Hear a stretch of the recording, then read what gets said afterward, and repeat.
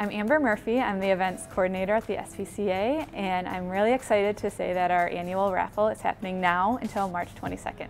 Orville's is our presenting sponsor, and they gave us this nice package with a refrigerator, microwave, dishwasher, and a stove, and that's our biggest prize this year for our annual raffle, which everyone seems to love. They did it last year and it was a big hit, so we are lucky to have them again.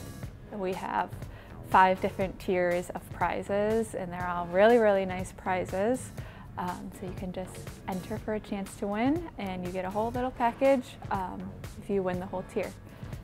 To enter, you can go online at yourspca.org and enter there. There's a big banner on the top of our website and you can just click right on there and order your tickets right away. Or you can call me at extension 230 and I can help you get the tickets and everything will be all set. Or you can go to our Petique and buy raffle tickets right there and you'll have your ticket stub right away and you can shop, come see the dogs, cats, everything you could ever wish for and also have a chance to win from our raffle.